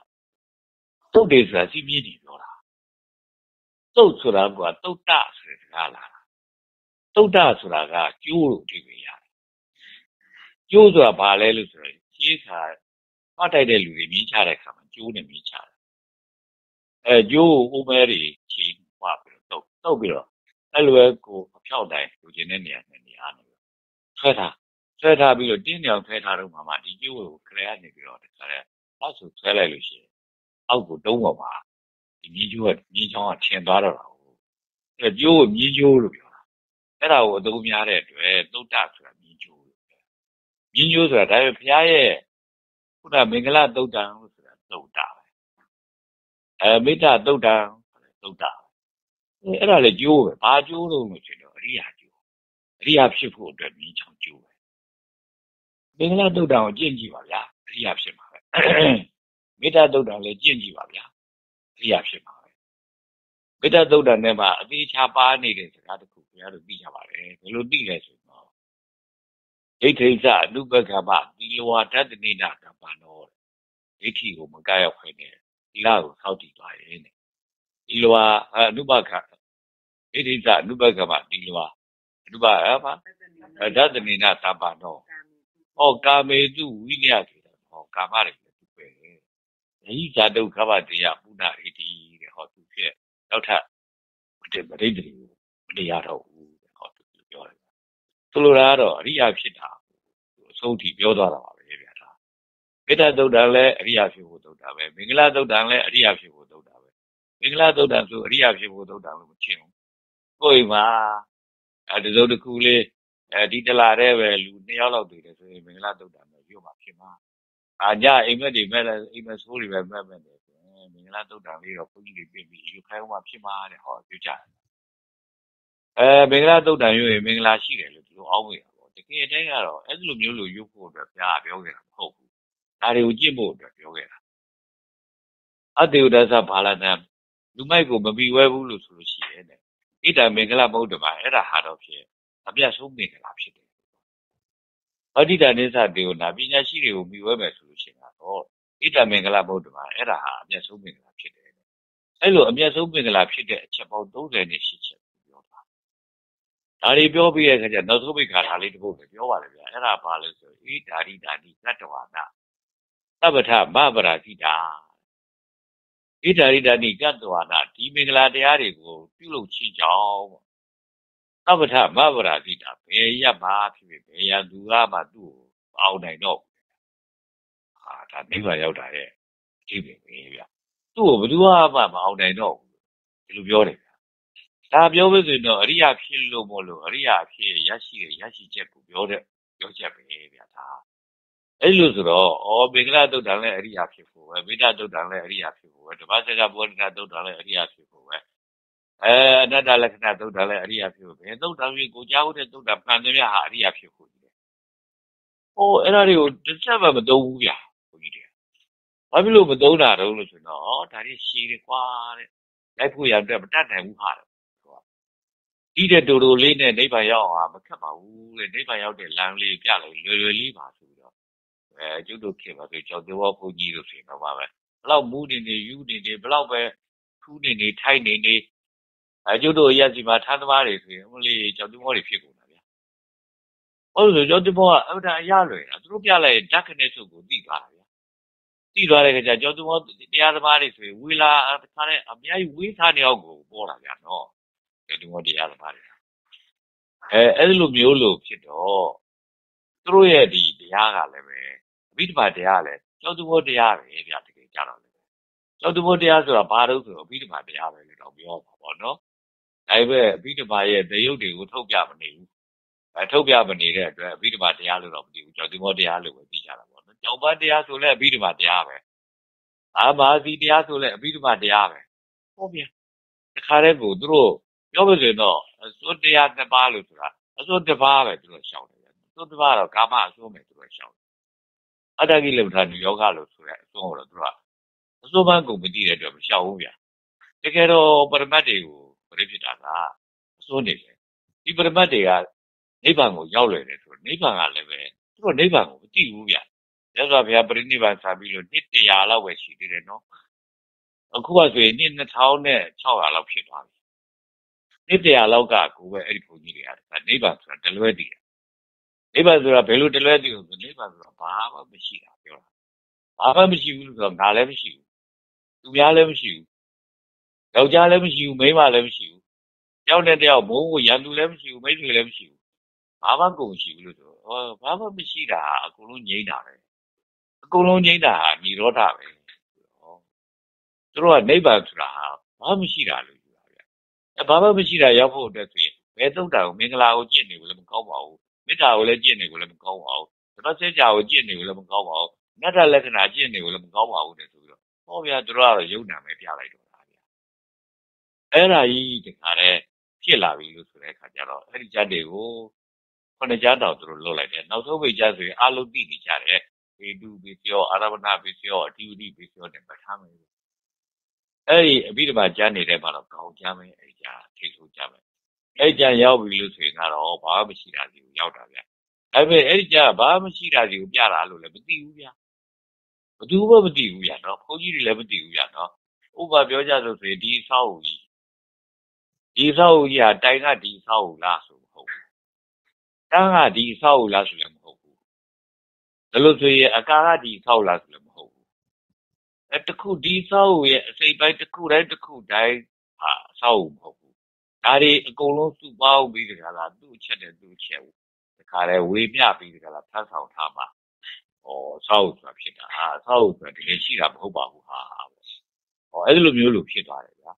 အဲ့တော့အဲ့ဒါမရှိဘူးလို့ဆိုလို့ရှိရင်ကတော့ဒါကိုမဆွဲတော့အဲဒါကိုကြောက်စရာဆိုရင်ဒါလည်းမကြောက်တော့ဘူးဒါကိုမုန်းစရာဆိုဒါလည်းမမုန်းတော့ဘူးဒါကိုချစ်စရာလားဆိုဒါလည်းမချစ်တော့ဘူးဟောအဲ့လိုဖြစ်သွားအဲ့တော့ချစ်စရာနဲ့မုန်းစရာကနေပြီးတော့လွတ်သွားတာကတော့ဖြင့်ဒီအစွဲလွတ်သွားလို့ပဲဒီအစွဲလွတ်ကတော့ဘာမှမရှိပါလွတ်တာဆိုပြီးတော့ဟောဘာမှမရှိတာဘယ်သူလို့ဆိုတော့ပြီးတမတာလှုပ်လိုက်ဘာမှမရှိဘူးလို့သူကသိသွားတော့ဟောပြီးတမကိုသူကဆွဲတော့ အဘိဓမ္မာကိုပဲသူတို့ကဟောတာဆိုတယ်ဗျ။တသားတသားတော်လုံးအဘိဓမ္မာကိုနှစ်ပေါက်ဘယ်လောက်လောက်ကြာတယ်လို့ဆိုတဲ့ခါကျတော့1400လောက်ကြာတော့ဒီဒီအဲ့လောက်ထောက်ကြည့်ပြီးကြာတဲ့ဟာမျိုးဆိုတာကျွတ်တို့ရဲ့သမိုင်းထဲမှာသိရှိလာတာကိုမဟုတ်ဘူးလို့ပြောကြသပေါ့နော်။အဲ့လောက်ကြာတဲ့ခါကျကျွတ်တို့ကလည်းအဘိဓမ္မာကိုဆွဲတော့တာပေါ့ဗျာ။ဟောထေရတော်တဲ့ဘုန်းကြီးတွေဆိုဒီအဘိဓမ္မာနဲ့ကင်းပြီးဘသူမှကိုတရားမဟောတော့ဘူးဗျာ။အဲ့ဒီခါကျတော့ဒါပြည့်အဘိဓမ္မာကဖျားဟောမဟုတ်ဘူးလား မိဓမ္မာကိုဘုရားဟောတယ်လို့သူတို့ကလည်းပြောသေးတာဗျာဘုရားဟောတယ်ဆိုတာဘုရားဟောတာကိုပြောချင်နေရာပြောရမယ်ဘုရားဟောတာကိုပြောချင်လို့ရှိရင်ပုဂ္ဂိုလ်ပြောရမယ်ဟောခံရတဲ့ပုဂ္ဂိုလ်ရတာတဲ့ပုဂ္ဂိုလ်ပေါ့ဘုရားဟောတာကိုပြောချင်ရင်ဘုရားဟောရခြင်းအကြောင်းပြောရမယ်ဘုရားဟောရခြင်းအကြောင်းရဲ့တရားဟောခံရတဲ့ပုဂ္ဂိုလ်ရဲ့တရားဟောရတဲ့နေရာရဲ့ဒီချက်သုံးချက်ပြောရမယ် ဒီချက်သုံးချက်မရှိဘူးလို့ဆိုလို့ရှိရင်အဲ့ဒါဖျားမဟုတ်ဘူးလို့ဒီချပြောခဲ့အဲအပြီးတော့နေရာမရှိဘူးဘယ်နေရာဟောတယ်ဖျားဘယ်နေရာဟောတယ်လို့မရှိဘူးဘသူ့ကိုဟောတယ်ဆိုတာလည်းမရှိဘူးဘယ်အကြောင်းအရာနဲ့ဟောတယ်ဆိုတာလည်းမရှိဘူးအဲ့တော့မရှိတော့သူတို့ကဒီကိုရောက်တဲ့ခါကျတော့ဒီပြီးတော့ကိုသာသနာတော်နဲ့တွင်းပြီးလို့အဲနည်းနည်းကြာတဲ့ခါကျတော့ပေါ့နော်ဟောဒီပြီးတော့နတ်ပြည်မှာဟောတာလေ နတ်ပြည်မှာဟောတာနတ်ပြည်မှာဘသူ့အကြောင်းပြုဟောတာလို့ဆိုတော့သူ့အမေနတ်သားကိုအကြောင်းပြုဟောတာလေသူ့အမေကသေးပြီးနတ်သားနတ်သားသွားဖြစ်တာလေဗျဟင်းလူစတော့ဘဝလည်းဘုရားလက်ခံတာဖြစ်နေပြီဘုရားဖြစ်နောက်ဘဝသူစကားမပြောပါဘူးတဲ့လို့ဆိုပြီးဟောအဲ့ဒါသာတကယ်လို့ဖြစ်တယ်ဆိုရင်တော့ဟောဘုရားနောက်ဘဝကိုလက်ခံတယ်လို့ဖြစ်သွားပြီပေါ့အဲဘုရားစကားနှစ်ခွဖြစ်သွားပြီဆိုရင်တော့ခြေစကားမှန်ရင်နောက်စကားမှားပဲနောက်စကားမှန်ရင်ခြေစကားမှားပဲလို့ဖြစ်သွားပြီ အဲ့တော့ဆိုလိုတာကတော့ဖြင့်သူတို့အဲ့ဒါကြီးကိုတီထွင်ထားခဲ့တယ်ဗျာဘုရားရဲ့မေတော်ဖြစ်တဲ့သူတည်တော်တဲ့နောက်ဘဝသွားဖြစ်တယ်တဲ့နတ်သွားဖြစ်တယ်တဲ့သူတိတနတ်ဖြစ်ပါအဲ့ဒီနတ်သားကိုအကြောင်းပြုပြီးတကလားသူကျေးဇူးထပ်တဲ့အနေနဲ့အကြောင်းပြုပြီးတော့ပြီးတော့တရားကိုဟောတာအဲ့ဒီလိုမျိုးလို့နောက်ပုဂ္ဂိုလ်တွေကလှုပ်ထားတယ်နောက်ပုဂ္ဂိုလ်တွေကလှုပ်ထားလဲဒါတော့မဟုတ်ဘူးလို့ဘယ်သူမှမငြင်းနိုင်ကြဘူးဝင်ကျင်နေကြပြီပဲခိကပြောင်းလာ ခိကပြောင်းလာတာဘယ်လိုပြောင်းလဲဆိုကဘာပြားကြီးကနေပြီးကဘာလုံးကြီးဖြစ်လာကဘာပြားကြီးကဘသူကနေပြီးတော့အပြားကြီးကိုတိုက်ထွာပြီးကြလို့လဲလို့ဆိုတော့အဲ့ဒါအပြားသူရှိကဘာလုံးကြီးဆိုတာကြတော့တိုက်ထွာပြတာတွေက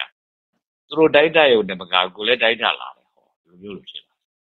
ကဘာလုံးကြီးဖြစ်လာပြီလို့ဆိုတော့ဒီကဘာလုံးကြီးပေါ်မှာမြို့မတော်ကြီးကဘယ်နှန်းတီမလို့ပါဖြစ်လာဒီမြင့်မို့တောင်ကြီးမှမရှိဘူးလို့ဆိုလို့ရှိရင်မြင့်မို့တောင်ထိပ်ပေါ်မှာမှ နတ်ပြည်ကြီးကလည်းဘယ်နှန်းလေးတည်ပါတော့။အော်အဲ့ဒီနတ်ပြည်မှမရှိဘူးလို့ဆိုလို့ရှိရင်လည်းပဲဒီနတ်သားကလည်းပဲဘယ်လိုလုပ်ပြီးတော့ရှိပါတော့။အဲ့လိုတွေဘုရားကလည်းအဲ့ဒီမှာဘယ်မှာဟောပါတော့လဲ။ဟောကျွတ်တို့ကနေတည်လာရတယ်။ဘာကျွတ်တို့ကလည်းခေတ်ထဲကလူဖြစ်တဲ့အတွက်တော့ကလေးတည်လာတဲ့ခါကျဟာဒီပြီးတော့ဟာတကယ်ကိုဘုရားမဟောလဲပါ။ရပဲကျွတ်တော့တည်ပြီ။လုံးဝဘုရားမဟောတဲ့အရာပဲ လုံးဝဘုရားမဟောတဲ့အရာကိုဒီကနေ့ကတော့သာသနာပြောက်ရင်သူကစပြောက်ပါဖြစ်တဲ့အတွက်သူ့ကိုမပြောက်အောင်ကိုမှန်မှန်ရွတ်ပေးရပဲဆိုတော့ပဋ္ဌာန်းတွေပဲရွတ်နေကြတယ်ပဋ္ဌာန်းပွဲတွေကျင့်ပနေကြတယ်ဗျာအဲအဲ့ဒီလိုမျိုးလို့ကျင့်ပပြီးနေတယ်ဆိုတော့ဒီဘုန်းကြီးတွေဟာထေရဝါဒတရားပဲဒီအပိဓမ္မာဆိုတာကထေရဝါဒဘုန်းကြီးတွေအဲမထေဘုန်းကြီးတွေထွင်ခဲ့တာမထေဘုန်းကြီးတွေဘာလို့ထွင်တာတုံးလို့ဆိုရင်တော့ဘုရားရဲ့ဟောကြားခဲ့တဲ့နိဗ္ဗာန်ကို မြန်မြန်ဖြတ်ခနဲ့ဆိုရောက်သွားအောင်လို့သူကညွှန်ခဲ့တာဟုတ်လည်းမဟုတ်ပဲနဲ့နိဗ္ဗာန်ကလွဲနေတဲ့အခါကျတော့သူတို့ပြောသလိုကတော့ငါမရှိသူမရှိပြီးတော့မြန်မြန်တော့ရောက်မှာပေါ့အဲရောက်ပေမဲ့အဲ့ဒီငါမရှိသူမရှိပြီးရောက်တာဘယ်ရောက်တာလို့ဆိုတော့နေဝသိညာတိညာပဲရောက်ပါပဲအာဂတနိစာယနာလည်းရောက်ချင်ရောက်ပဲဝိညာဉ်စာယနာလည်းရောက်ချင်ရောက်ပဲအာဂိညာယနာလည်းရောက်ချင်ရောက်ပဲဒါပဲရောက်ပဲပြောလို့ဆိုတော့ဘယ်အာယုပတဲ့ကဘယ် အရာပဲရောက်ရောက်သူဘာဖြစ်တယ်လဲလို့ဆိုတော့ဒါလောကီတရားပဲလောကုတ္တရာတရားမဟုတ်ဘူးလူရဲ့လွတ်လပ်မှုတရားဟောခဲ့တဲ့လွတ်လပ်ကြောင်းလမ်းကြောင်းလည်းမဟုတ်ဘူးလူရဲ့လွတ်လပ်ရာလည်းမဟုတ်ဘူးအဲ့လိုမဟုတ်ပါပဲနဲ့အဲ့ဒါကိုလွတ်လပ်ရာလမ်းကြောင်းဆိုပြီးဒီကလာသူကနေပြီးတော့ပြောသွားပြီလေဆိုတဲ့အခါကျတော့ဒါဘသူပြောတာတော့ဘုရားပြောတာဟာဘုရားပြောတာမဟုတ်ဘူးဘုရားပြောတာမဟုတ်ဘူးနဲ့ဒုတာတရားတော့ရဘာလို့အဲ့ဒါယူယူနေရတာတော့ဟောဒီတာတရားတွေကိုတတိယတင်္ဂါရတာတော့ထည့်ခဲ့လို့ ဒီတတတိယသင်္ဃာရနာတွေကထဲတာထဲတာဘယ်လိုရေးတာမို့လို့လဲဆိုရင်တော့ဟောမထေရရေးခဲ့တာဘယ်လိုဆိုမထေရရေးတာကြီးကဒီလူတွေကိုအလင်းပေးတယ်ဆိုပြီးကလာအုံနောက်ထဲထည့်ထားတော့ဘာအလင်းမှလည်းမရပါဘူးလူတွေကိုအလင်းကြီးယော့သွားစေတာအတိတွေကိုအသွားစေတာတကယ်တော့အလင်းတွေမဖြစ်စေပဲနဲ့အလင်းတွေကိုတောင်းမှောင်ကျသွားစေတာလို့ပြောပါပေါ့နော်အဲ့လိုမှောင်ကျသွားစေတာဖြစ်တဲ့အတွက်ဒီဟာကြီးက ဘုရားဟောခဲ့တာမဟုတ်ဘူးဘုရားဟောခဲ့တာမဟုတ်လို့ရှိရင်ဘယ်သူဟောခဲ့တာလဲမထေရီဟောခဲ့တာဘုရားရဲ့တပည့်ဘုန်းကြီးကြီးတွေဟောခဲ့တာပေါ့ဘုရားရဲ့တပည့်ဘုန်းကြီးတွေဆိုအလွန်လေးစားတဲ့ပုဂ္ဂိုလ်တွေဆိုတော့အာသူတို့လည်းလေးစားတဲ့အခါကျတော့ဟောသူတို့ဟောတာကိုသူတို့တသားတရားတော့လို့ရင်တရားဆိုပြီးတော့အိုးတကယ်ဆိုတော့လို့လာယူတော့သုတ်တန်တွေပြောက်ရောသုတ်တန်တွေနှိမ့်မိန်သွားတာပေါ့မင်္ဂလာသုတ်တန်လည်းပဲမင်္ဂလာရှိဖို့လေးပြောရတဲ့တရားပဲမေတ္တာသုတ်တန်လည်းဆိုတော့လည်း ငါမေတ္တာရှိဖို့အတွက်လုပ်ရတဲ့တရားပဲတဲ့ဟောဒီလိုလေးပဲထင်တော့တာဗျာအဲ့လိုဆိုတော့အဲ့သုတ်တန်တွေကပြေးမိန်သွားပြီလို့ဆိုရတာခါကြတော့ဘုရားဟောခဲ့တဲ့သုတ်တန်တွေကိုမဟောပဲနဲ့မသုံးပဲနဲ့ပြစ်ထားတာကြီးကနှစ်2000နဲ့900လောက်ကြာသွားပြီလို့ဆိုရတာဗျာအမျိုးမျိုးအကြီးအကျော်တွေအဖုံတွေတခါနဲ့တက်ပြူပြီးတော့မနေတဲ့ခါကြတော့ဘာမှအသုံးမကျတော့ဘူးအဲ့တော့ဒီထေရဝါဒဗုဒ္ဓဘာသာလို့ဆိုတဲ့ဟာကြီးကဩကျွတ်တို့ကတိသွားပြီအာ ဒါဟာဗုဒ္ဓဘာသာမဟုတ်ဘူးဟာထေရဝါဒဘာသာပဲပေါ့ထေရဝါဒရဲ့အလင်းပဲပေါ့အဲ့ဒီထေရဝါဒရဲ့အလင်းကိုထေရဝါဒဘာသာလို့ပဲပြောနေတယ်ထေရဝါဒရဲ့အလင်းဟာဗုဒ္ဓဟောခဲ့တဲ့အလင်းမဟုတ်ဘူးဒါကြောင့်မို့လို့ဗုဒ္ဓဘာသာလို့ဆိုတာမထည့်နိုင်ဘူးအဲ့တော့ထေရဝါဒဘာသာဟာအဲထေရဝါဒတွေဟောကြားခဲ့တဲ့ဘုရားဓမ္မအတိုင်းရှင်းကပ်ပြီးနေတာဟာထေရဝါဒဘာသာပဲဖြစ်တယ်ဗုဒ္ဓဘာသာမဟုတ်ဘူးဟောကျွတ်တော့သိသွားပြီ အဲ့လိုသိသွားတဲ့အခါကျပြီးခဲ့တဲ့တရင်ကျော်လာပြီးနေတော့တော့အဲ့လိုပဲကြုံလည်းပဲဒါလေးကိုခေါ်ပြီးတော့လူလေးက10လေး9ယောက်ကိုခေါ်ပြီးတော့ပြောလိုက်တယ်ဗျာကျုပ်ကိုလို့အဲထေရဝါဒဗုဒ္ဓပိစုပန်ကမ္မဝါဒဗုဒ္ဓဘာသာလို့မမှတ်ကြနဲ့တော့ဗျာလို့အရင်တော့ကျုပ်ကကျုပ်ကိုပိစုပန်ကမ္မဝါဒဗုဒ္ဓဘာသာလို့မှတ်ပါလို့ဆိုတာမျိုးလို့ပြောထားခဲ့တာလို့ပိစုပန်ကဓမ္မသစ္စာကိုယုံကြည်ပါ၏ပိစုပန်ကဓမ္မသစ္စာကိုချင့်ကပ်ပါ၏နဲ့ သူတို့တရားဓမ္မတွေနာကြတဲ့ပွဲတိုင်းပွဲတိုင်းအဆူခိုင်းအာတို့ကပိဿုပန်ကံဆိုတဲ့ဟာကြီးကဘာလို့ဆိုပိဿဝံကမ္မဝါဒဗုဒ္ဓဘာသာမှာပေါ်လွင်အောင်လို့ကျွတ်သွားနေပြီးတော့ကိုယ့်အတိကိုအဲ့လိုရောက်စီအောင်လို့ဆိုခိုင်းတာခုတော့ပိဿဝံကံဆိုတဲ့ဟာကြီးကအပူဖြစ်နေတကယ်တည်းကတော့ဗုဒ္ဓဘာသာလည်းပါတာပါပါတယ်အားပေမဲ့လို့လည်းပဲဗုဒ္ဓဘာသာလို့တင်ကျွတ်တော့မပြီးပဲနဲ့ပိဿဝံကမ္မဝါဒဆိုတဲ့ဟာကြီးရှေ့ကနေလောက်တာဘာလို့ဆိုတော့ထေရဝါဒနဲ့မ တူအောင်လို့လုပ်ရတာ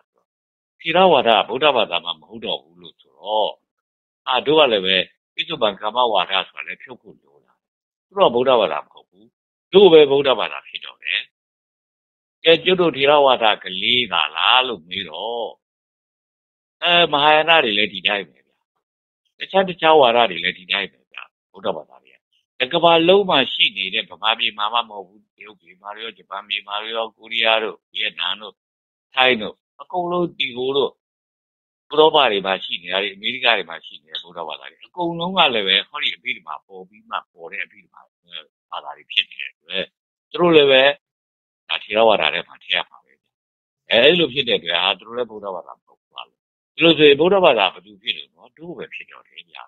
တို့ပဲဗုဒ္ဓဟောတဲ့လမ်းကြောင်းသိတော့တာလို့အဲလိုဆိုတော့တို့ပဲဗုဒ္ဓဘာသာဖြစ်ပြီလို့ဆိုမှတော့ တို့ကိုယ်တို့ဗုဒ္ဓဘာသာလို့ပဲဒါမှငါပဲလုပ်ကြတော့သူဆိုပြီးတဲ့ကသူကပြောတယ်ဗျာပြောပြီးတဲ့အခါကျတော့အဲတို့တို့ပိဿုပံကမ္မဝါဒဆိုတဲ့ဟာကိုဖယ်လိုက်ကြတော့သူဆိုတော့ဒီတော့ဒီဖယ်လိုက်ပါတယ်ဘာလို့ဆိုထေရဝါဒမှာမရှိတော့ဘူးစေဒီတော့လည်းရှေးရောက်အတွက်ပိဿုပံကမ္မဝါဒလို့လုပ်နေတယ်လေအဲဒီတော့အဲ့လိုဖြစ်သွားတာပေါ့နော်အဲ့ဒါမို့လို့ပိဿုပံကမ္မဝါဒဆိုတာကိုဒီတော့ဖယ်လိုက်တော့တယ်ဗျာဒီဘာကားကြီးတော့ဗျာ ဩဟုတ်ပြီကဲလုပ်လို့ကြပါလားအဲ့လိုဖြစ်ပါတယ်ဗျအဲ့တော့သူတို့ကတော့ဒီကျွတ်တို့တတိကျွတ်တို့ကတော့လူလေး15ယောက်ကိုကျုပ်ကိုအတိမတ်ပြီးကိုပြောတာကျုပ်တော့ကလိုက်တဲ့သူတွေခင်ဗျားတို့တွေလည်းပဲပိဿုပံကမ္မဝါဒဗုဒ္ဓဝါဒမဟုတ်ဘူးလို့ဆိုတာကိုခံယူပေးကြပါလို့မပြောဘူးဗျနော်အခုတော့ ကျုပ်ကိုခင်ဗျားတို့ကနေပြီးတော့ဗုဒ္ဓဘာသာလို့ပဲအတိမတ်ပြုတော့တယ်လို့ခင်ဗျားတို့ကိုခင်ဗျားတို့လည်းပဲပိဿုပံကမ္မဝါဒဗုဒ္ဓဘာသာလို့ဆိုတာလုံနေကြနေတော့ဗျာဒီလိုပြောချင်မယ်ဗုဒ္ဓဘာသာပဲဟုတ်တော့တယ်ဟုတ်လို့ဆိုတော့ခင်ဗျားတို့ပဲရှိတာကိုဗုဒ္ဓဘာသာကခင်ဗျားတို့ပဲရှိတယ်လို့ဆိုတာခင်ဗျားတို့လူအဲဖះဟောခဲ့တဲ့လမ်းကြောင်းမှန်ကိုလမ်းကြောင်းမှန်ကိုရောက်တဲ့အချင်းရောက်တဲ့အမြင်မှန်မျိုးကမရှိဘူး မရှိနေတဲ့အခါကျဘုရားဟောခဲ့တဲ့လမ်းကြောင်းပေါ်လမ်းကြောင်းအမှန်ပေါ်ကိုကျင့်ရမယ့်လမ်းကြောင်းအမှန်ကိုသိမြင်နိုင်တဲ့အတိအမြင်တရားတခြားဘာသာတရားတွေဒီမှာမရှိနေတယ်ဆိုတော့သူတို့ကဗုဒ္ဓဘာသာကိုမဟုတ်ဘူး။ပြောကျွန်တော်အဘိဓမ္မာဘာသာတွေထေရဝါဒဘာသာထေရဝါဒတွေရေးခဲ့တာလည်းသိနေရတဲ့အခါလို့ဆိုထေရဝါဒဘာသာပဲဖြစ်တယ်လို့ပြောအောင်။အဲ့လိုဖြစ်တဲ့အတွက်ခင်ဗျားတို့ပဲအဲဗုဒ္ဓဘာသာဖြစ်တော့တာလို့သူပြောပါပေါ့။ဒါကြောင့်မလို့သူများတဲ့ ယုံမားစရာတန်တရားဖြစ်စရာမရှိတဲ့အတွက်ခင်ဗျားတို့ကခင်ဗျားတို့လည်းပဲပိဿုပံကမ္မဝါဒဗုဒ္ဓဘာသာလို့ဆိုတာမျိုးလို့လုံးမတူကြနေတော့ဗျာလို့ပြုတ်ကနေပြောဒီနေ့ကတော့ဒါအကျိုးတရားပွဲလေးပေါ့ဗျာနော်အဲဘယ်နဲ့ပြောင်းကြပါပဲကျွတ်တို့တရားတရားပွဲလေးအစပြုမယ်လို့သိကူထားပါလေဗျာနော်ဒီနေ့ကတော့လူလက်သိပ်ပြုတ်သေးတာဆိုတော့အကျိုးတရားပွဲလေးဖြစ်တယ်ဒါလေးပြောပါတယ်အဲ့ဒါလေးကတော့ဘာလဲလို့ဆိုတော့ခင်ဗျားတို့ကိုခင်ဗျားတို့လည်းပဲဗုဒ္ဓဘာသာလို့သာမှတ်ကြရအောင်ပေါ့နော် မှတ်ပေးကြပါပေါ့နော်ပိဿုပံကမ္မဝါဒဗုဒ္ဓဘာသာလို့လုံးဝနေကြတယ်တော့ဗျာပိဿုပံကမ္မဝါဒဗုဒ္ဓဘာသာလို့လုံးရတာကထေရဝါဒဗုဒ္ဓဘာသာရှိတယ်လို့ဘာယာတဗုဒ္ဓဘာသာတွေရှိတယ်လို့အခုကတော့ဘာယာတတွေထေရဝါဒတွေဗုဒ္ဓဘာသာဘာမဟုတ်တာဆိုတဲ့အခါကျတော့ခင်ဗျားတို့ပဲဗုဒ္ဓဘာသာဟုတ်တော့တာဆိုတော့ဘာမှခင်ဗျားတို့ကဉာဏ်နဲ့ဝိသေသနာမနေကြဘူးဩဗုဒ္ဓဘာသာပဲပေါ့ဩကတော့ဗုဒ္ဓဘာသာဟာဗုဒ္ဓဘာသာဆိုတော့ထေရဝါဒတွေလည်းဗုဒ္ဓဘာသာမဟုတ်ဘူးလားဆို အေးပြီးတော့ဒါထင်းနေတာပြီးတော့ဟုတ်ဘူးပြပါတော့ဒီလိုပြောပါပေါ့နော်ဘာဖြစ်လို့မဟုတ်တာတော့လို့ဆိုလို့ရှိရင်ပြီးတော့တခါတည်းမထေကြီးတွေကပြောတဲ့လမ်းကြောင်းလိုက်နေတာနဲ့ပဲညာဟောခဲ့တဲ့လမ်းကြောင်းကိုတခါတည်းမျက်စိလေးကြံနေတာလို့အဲကြောင့်ဘုလို့မဟုတ်တော့ဘူးပြီးတော့ဗုဒ္ဓဘာသာမဟုတ်ဘူးပြီးတော့ဗုဒ္ဓဘာသာအတုပဲလို့သာပြောတော့မှာပေါ့မတို့သာလေဗုဒ္ဓဘာသာလို့ဟောတယ်တကယ်အဲ့လိုပဲသူပြမေးလာရင်လည်းပဲဟောတယ်ပြီးတော့အဲ့လိုထုတ်ပြောလိုက်တော့ဖို့ရှိတော့မှာပေါ့နော် ဒါကြောင့်တတ်တဲ့သူများဒီကိုကိုကိုကိုအာဗုဒ္ဓဘာသာလို့ပြောရမလဲလို့ဆိုတော့ဗုဒ္ဓဘာသာစစ်စစ်ပဲလေ။ဟောကြတဲ့သူတွေကတော့ဗုဒ္ဓဘာသာတော့မဟုတ်ဘူးဗုဒ္ဓဘာသာတပည့်ဘုန်းကြီးတွေကဟောကြားချက်အတိုင်းလိုက်လုပ်နေတဲ့သူတွေဆိုတော့အဲတပည့်ဘာသာတွေပေါ့နော်တပည့်ဘာသာဆိုတာကတော့တပည့်ကိုဘယ်လိုပြောရမလဲဆိုတော့အဲဗထေကြီးတွေပေါ့နော်တပည့်ကခိုက်ခိုက်ပါပါတပည့်ကြီးတွေဖြစ်နေအောင်နော်ခိုက်ပါတာကိုထေရလို့ပြောတာနော်အဲ ထေရလို့ဆိုတော့ခိုက်ခိုက်ပါပါတပည့်ကြီးတွေဆိုတော့အာမန်တပည့်မဟုတ်ဘူးသူကအမြဲတမ်းခိုက်ခိုက်ပါပါလုပ်နေတဲ့တပည့်ကြီးတွေဖြစ်တယ်အဲဘုန်းကြီးကြီးတွေပေါ့နော်အဲအဲ့ဒါကြောင့်ဘောလို့အဲ့ဒီတပည့်ကြီးတွေရဲ့ဘာသာလို့ပြောတယ်နော်ဟိုတပည့်ဘာသာဗျအဲ့ဒါနော်အဲ့ဒါထေရဝါဒဘာသာပေါ့ဗျာနော်အဲ့တော့ထေရဝါဒဘာသာဗုဒ္ဓဘာသာမဟုတ်တဲ့အတွက်ကျုပ်တို့ပဲဗုဒ္ဓဘာသာဟုတ်တော့တယ်လို့ဆိုတာလေးကိုခင်ဗျားတို့ကိုခင်ဗျားတို့အတိအမှတ်ပြုနိုင်ကြပါသေးလို့သူပြောရတယ်ဗျာနော်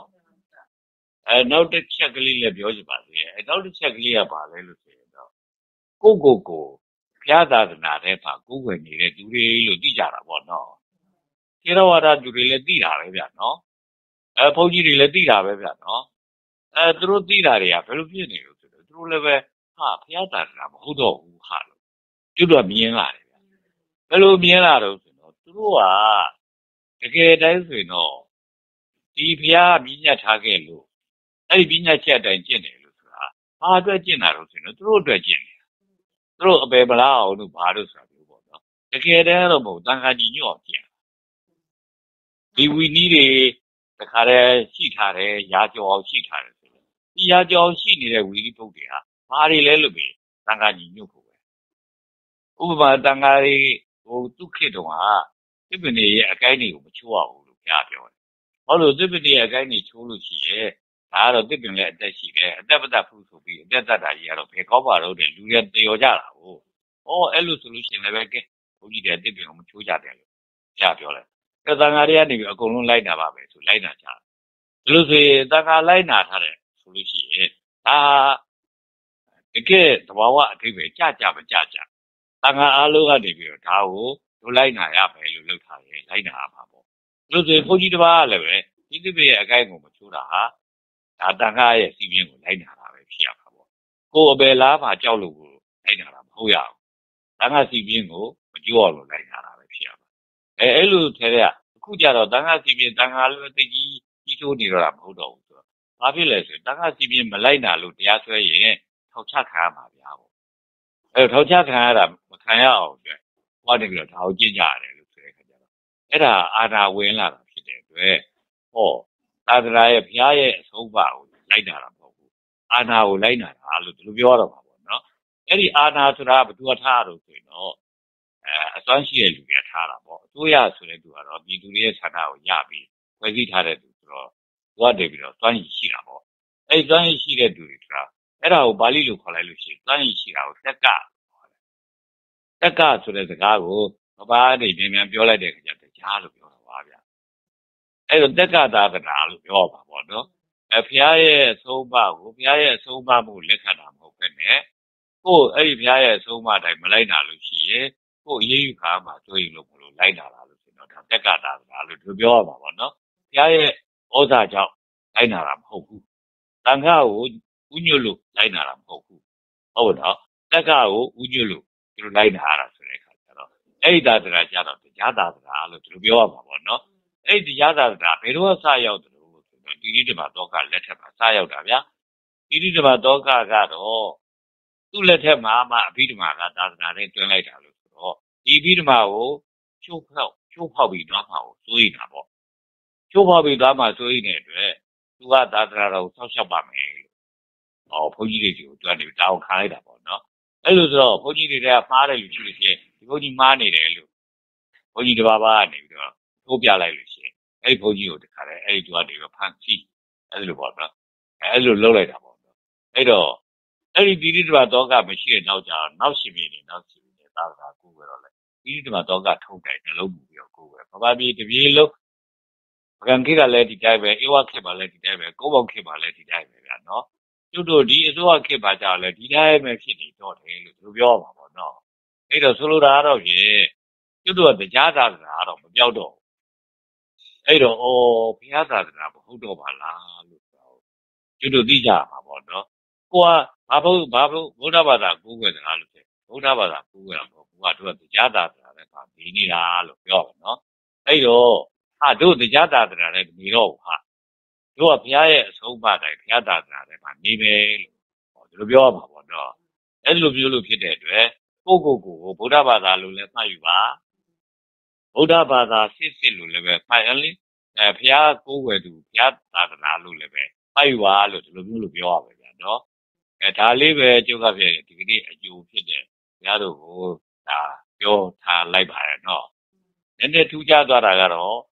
ရင်းကျွလာတော့ကရဲ့ဒီကောင်ဘိုးလာပြီလားမသိပါဘူးဟိုဘာကြတော့တရားသာသနာကိုကျုပ်ကပြောတာပေါ့နော်တရားသာသနာဟုတ်ဘူးတရားသာသနာလို့ဒီမှာတော့ဗုဒ္ဓဘာသာမဟုတ်ဘူးဒါထေရဝါဒဘာသာလို့ပြောတာပေါ့ဗျာ အဲ့ဒီပြောချက်ဟာခုခေပဘာနှစ်လို့ဆိုရင်တစ်နှစ်တောင်မပြည့်သေးဘူးလို့ပြောရမှာပေါ့နော်ဒီတော့ကနေပြီးတော့ဒီကနေ့အထိပြောခဲ့တာကျုပ်ကအဲ့တိုင်းမှတ်ပေးပါအဲ့လိုပြောပါအခုကြတဲ့အခါကျဒီနှစ်ကောကဒီအခါကျတော့ခင်ဗျားတို့ကိုလည်းပဲခင်ဗျားတို့ကိုခင်ဗျားတို့အဲ့တိုင်းမှတ်ပေးကြပါလို့ဆိုတာကိုပြန်ပြီးတော့အနှင်းလိုက်တယ်လို့သူပြောရမှာပေါ့နော်အဲဒါလေးပဲကျုပ်ကဖြစ်ဒီနေ့အကျိုးတရားဝဲဖြစ်နေဒီကိုချုပ်လိုက်ပါလေဗျာနော်အဲဒီကိုချုပ်လိုက်ပြီးဒါလေးကိုဝတ်တာနိုင်ကြတယ်ဆိုရင် အာတို့ဖြင့်တို့ကဗုဒ္ဓဘာသာဟာတို့ကဘုရားသာသနာထဲမှာနေနေတဲ့သူဟာလို့ဘုရားကိုးကွယ်တဲ့သူဟိုဗျာတော့ဘုရားသာသနာထဲမှာနေနေတဲ့သူဆိုတော့အဲ့တော့ဒါလေးကိုတော့ဖြင့်ဝါသာနိုင်ကြတယ်ဖြင့်ဝါသာတဲ့အထိတ်မှဖြစ်နေသုံးချိန်လောက်ဓာတုခေါ်ပြီးတော့ပဲဒီဟုတ်ချုပ်ကြအောင်ဗျာအာ